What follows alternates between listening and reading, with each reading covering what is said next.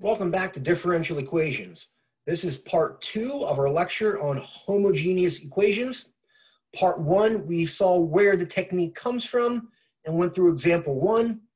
Part two, we'll start with some technical definitions and then a lot more examples.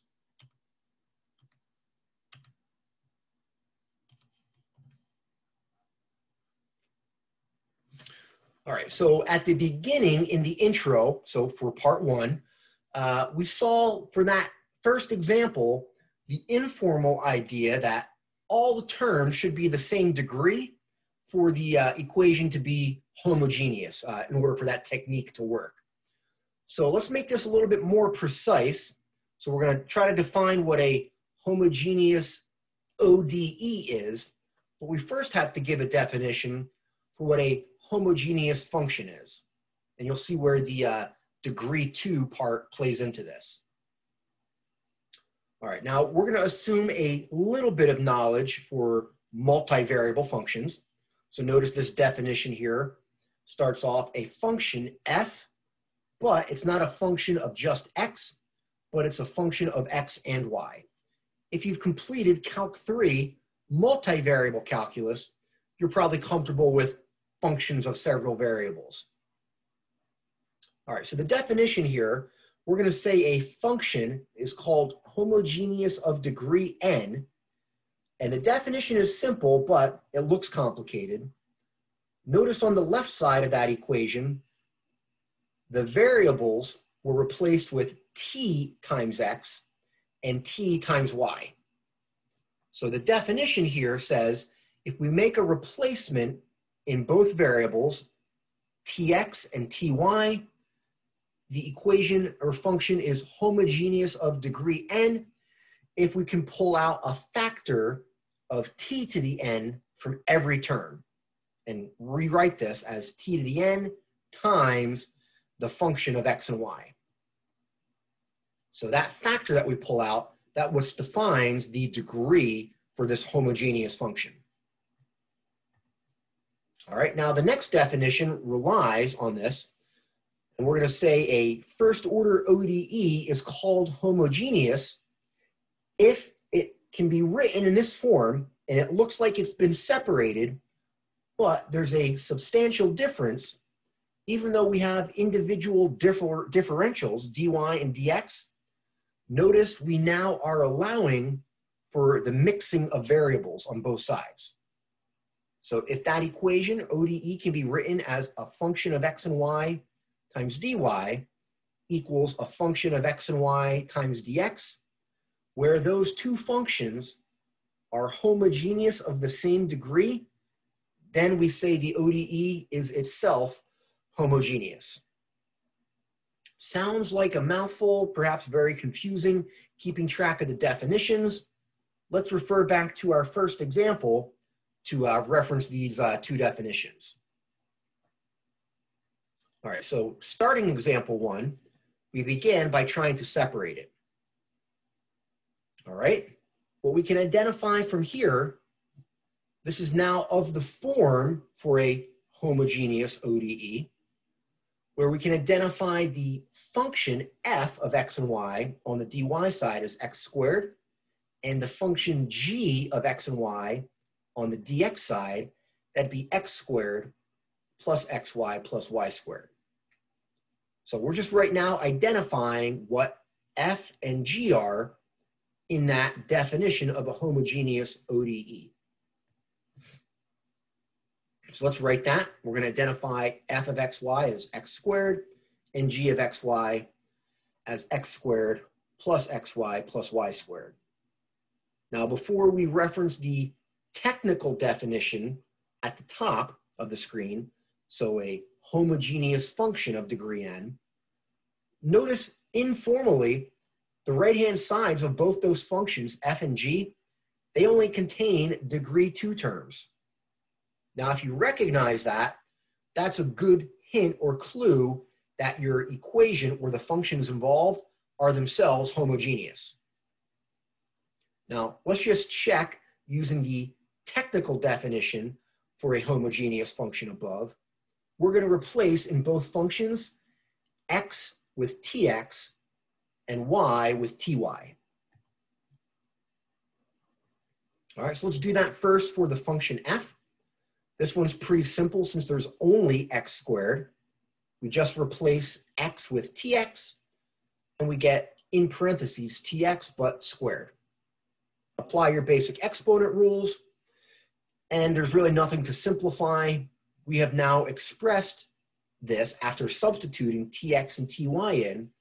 We have a factor of t squared out front times the original function. So t squared, the original function here is x squared. So this is homogeneous of degree two. That's what that power of t tells you. All right, let's do the same thing for the function g. In order for example one to be homogeneous, we have to verify that the function g on that right-hand side is also homogeneous of degree two. Informally, you can see that but let's implement the definition. All right, now since there are both x and y, we have to make a replacement.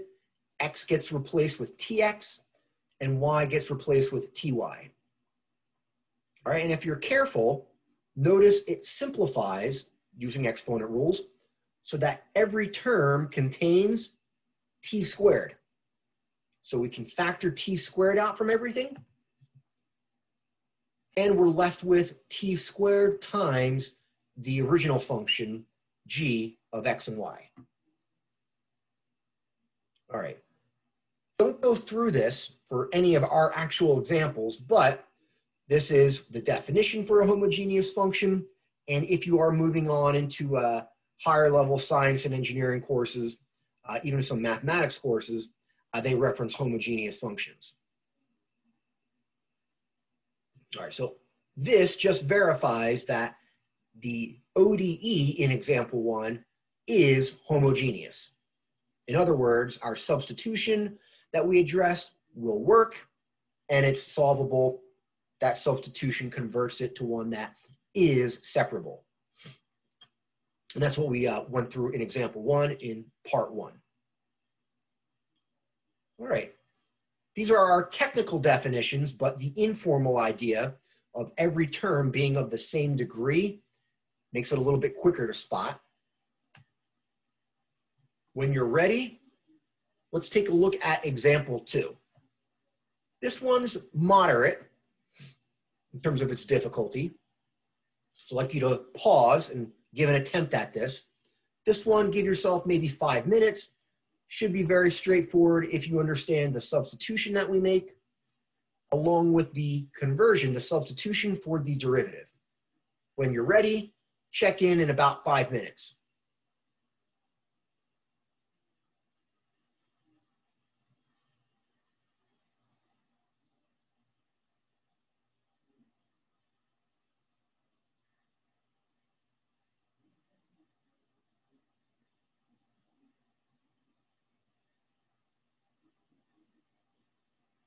Welcome back. If you're ready, let's go through this. So in our ODE, so the original equation, we have to make two replacements.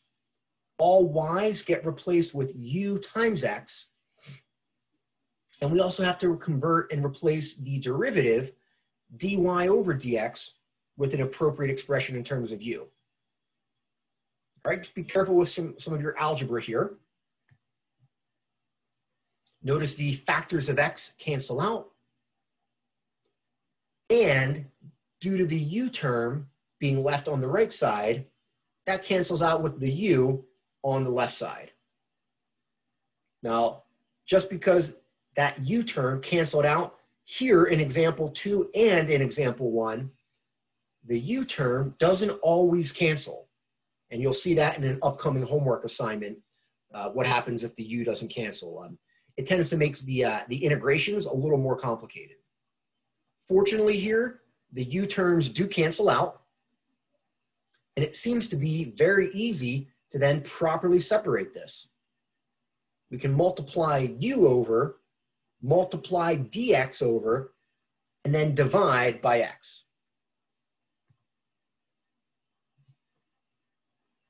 All right, at this point, the ODE has been properly separated in terms of u and x for the variables. And we just need to integrate both sides. Left side, we're going to integrate with respect to u. Right side, we're going to integrate with respect to x.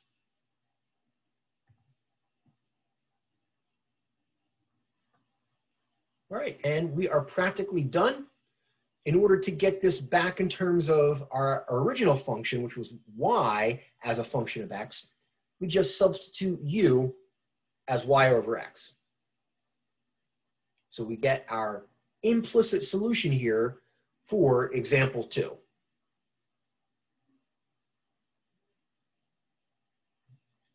All right, I don't think this one was too bad. Notice there was no, uh, no complicated uh, integrations required. Example three, we'll start to incorporate that where uh, we have to apply our substitution and then the resulting integrals might be a little, uh, a little challenging.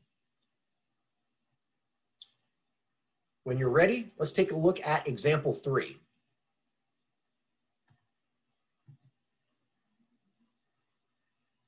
All right, I'd like to also give you an attempt for this one.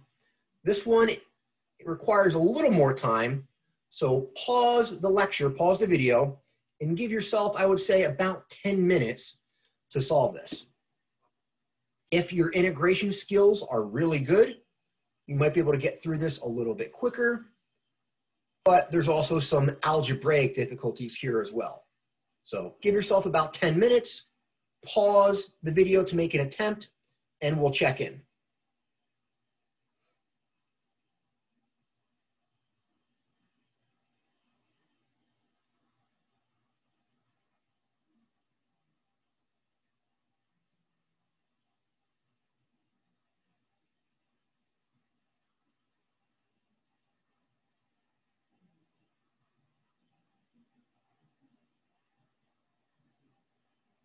All right, welcome back.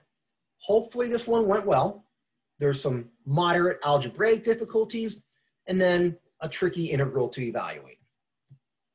Now, if you weren't sure where to start, for homogeneous equations, we always have this as our starting place. We make a substitution for y, y equals u times x, and we make a substitution for the derivative of y. So make sure you use that to start and we're going to convert, plug those in to convert this and continue. So if you are stuck, maybe repause, make those uh, appropriate substitutions. If you feel okay, let's proceed. Okay, we're going to plug both those in to the original differential equation. On the right-hand side, that fraction, notice every term in the numerator and denominator contains a factor of x.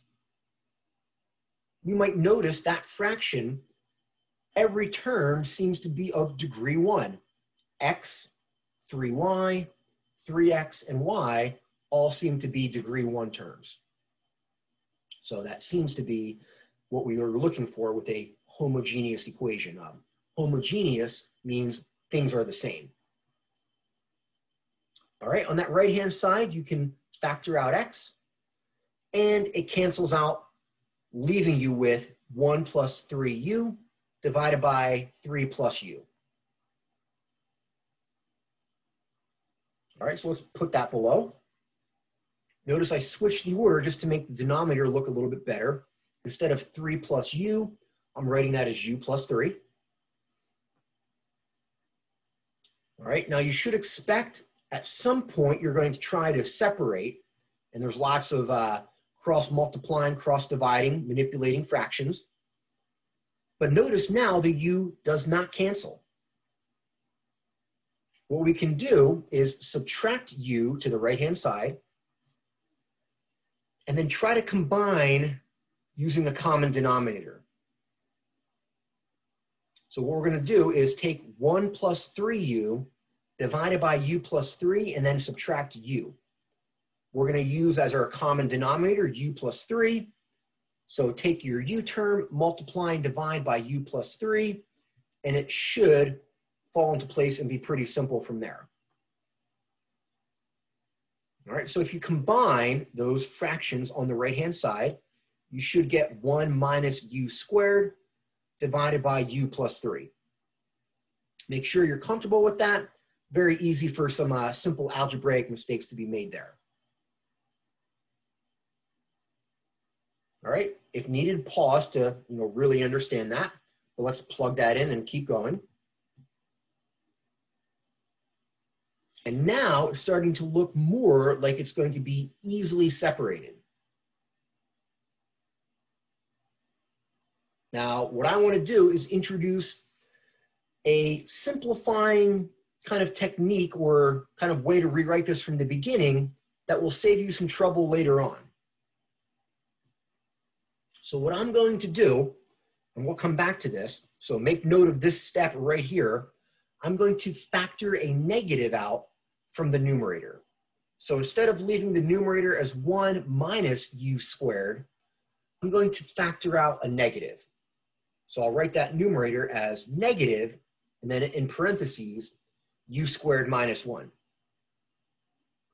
Now, the reason I'm doing that is I'm looking ahead, and you might be able to see where we're going. We're going to basically divide that fraction to the left side to separate this ODE. And we're going to get u squared minus 1 in the denominator. Now, u squared minus 1, we can factor that. It's a difference of squares. And eventually, because the denominator is going to factor, it leads to a partial fraction decomposition. I'm looking that far ahead to eliminate some potential sign errors that are likely going to occur they're going to occur, the sign errors, predominantly if you use the unfactored version, 1 minus u squared. So we're going to proceed by factoring that negative out. Once we complete example 3, we'll come back to uh, that common error as a follow-up. What happens if we don't factor the negative out? What could go wrong? Uh, there's a common mistake that students often make, which we'll point out. All right, if you feel comfortable, let's proceed. We've simplified, and now we can attempt to separate this ODE. I'm going to keep that negative on the x side. So we'll separate this to u plus 3 divided by u squared minus 1 times du equals negative 1 over x times dx. All right, so, so far, most of the work has been algebraic in nature, a you know fair amount of algebra. To complete this, the integrations of both sides, the integral on the left side, that comes down to a partial fraction decomposition. That's where most of the recommended 10 minutes for this question probably occur. Some time was for the algebra, most of the time for this integral here, the partial fraction decomposition. Now I'm going to advance to the work for that, just in case you uh, don't feel confident with that or you want to see some of the steps. But partial fraction decomposition should be part of your working knowledge coming into this course. So let's do the partial fraction decomposition for the integral on the left side. I have all the work here. Make sure you're comfortable with this. Start by factoring the denominator. u squared minus 1, that's a difference of squares. We get two factors, u plus 1 and u minus 1, and that separates into two partial fractions. All right, if you do that correctly, you should find a comes out to be negative 1 and b comes out to be 2. If you plug those in, you can integrate both those expressions, those partial fractions, pretty easily. It should be pretty natural. Both those fractions integrate to natural logs. So we get for our integral, this was the left side, negative natural log of u plus 1 plus 2 times natural log of u minus 1. Uh, you might argue, you forgot the plus c. We're going to include the plus c on the x side, the right side. All right, so if we go back to the problem, and again, feel free to pause, review if needed, rewind, go back. We had these integrals. The, the integral on the left side required a partial fraction decomposition. The integral on the right side, very straightforward. Okay, so at this point, we're basically done. We always want to back substitute u as y over x and we get a nice implicit solution here. Okay, so most of the work was probably for the partial fraction decomposition. Hopefully you felt uh, you got through that uh, pretty confidently. If not, definitely follow up with me during virtual office hours. All right, now this one has some built-in follow-ups to it, but again, we're gonna have a separate follow-up on what if we didn't factor that negative out? What sort of a common mistake could be made? If you're up for a challenge, this implicit solution actually simplifies considerably to still an implicit solution, but notice our original implicit solution has three natural logs within it. By using properties of logs and then some algebra, you can simplify that implicit solution to this version here, which looks significantly simpler. So give that a try. That's, a, again, a great thing to follow up with me on, but not required for, um, for this question. All right, if you're ready, we've completed example three here. We're gonna give a follow-up on what if we didn't factor out that negative.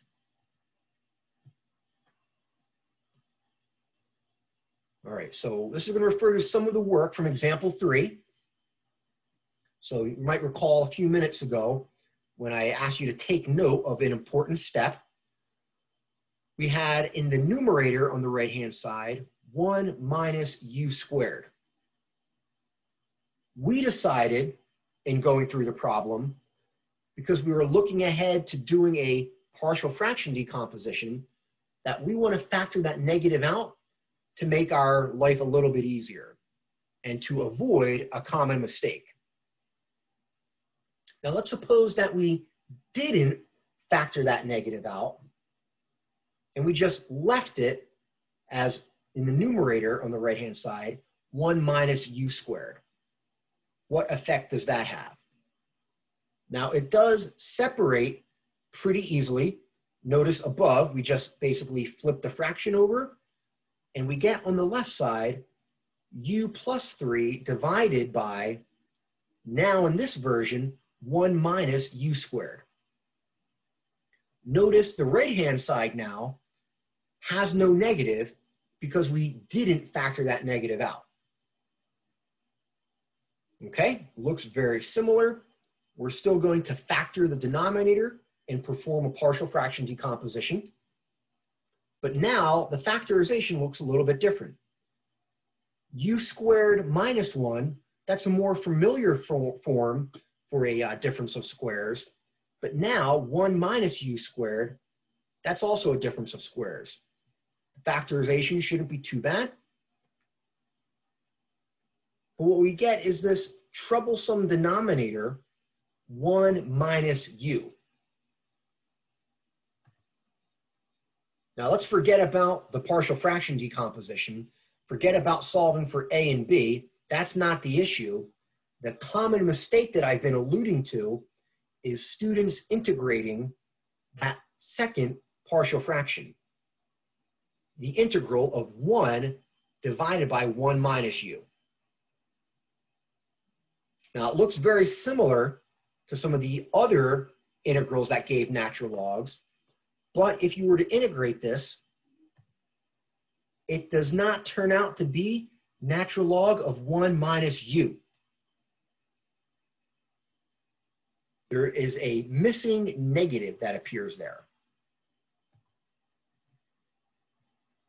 Now, I'd like to introduce a nice little shortcut formula. We're going to rewrite the denominator 1 minus u we're going to rewrite that as negative u plus 1. So recall, instead of subtracting, you can add a negative. So those two denominators are equivalent.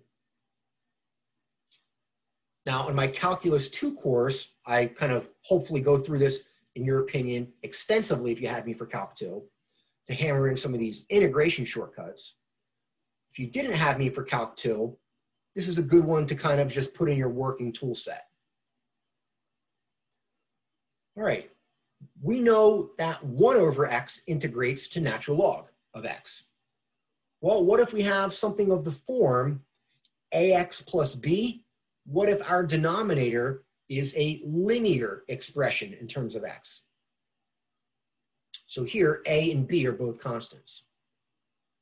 Now, you can actually prove this integration formula relatively easily by doing a u substitution. Choose your u as ax plus b. If you carry this out properly and correctly, you should see where the 1 over a factor comes from. We're going to use that formula for the integral above as long as we identify the right value for a, what is in front of your variable, negative 1. So our denominator does contain a linear expression where a is negative 1 and b is 1. So if you were to properly integrate, either by doing a substitution right from the beginning or using this shortcut formula, the correct integral for the answer to 1 over 1 minus u in its integral should be negative natural log of negative u plus 1. So the correct answer here has that negative out front. All right, let's tie this all together. Make sure you realize why in example three, we started by factoring the negative out it's in the upper right-hand corner of the work here. That was to avoid the complications here with the integral, the integral of 1 divided by 1 minus u. So make sure you feel okay with identifying the common mistake here and how to fix that. We're going to continue to see that throughout the course. All right, that's it for part two that completes everything that I wanted to cover for homogeneous equations. The next lecture will proceed with another type of differential equation.